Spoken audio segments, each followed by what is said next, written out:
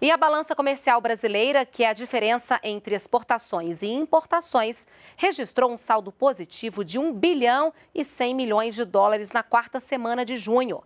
As exportações chegaram a quase 802 milhões de dólares, valor 5,7% acima da média. O motivo foi o aumento nas exportações de produtos manufaturados, como carros e produtos básicos, como minério de ferro e petróleo. No ano, o superávit registrado já passa de 23 bilhões de dólares.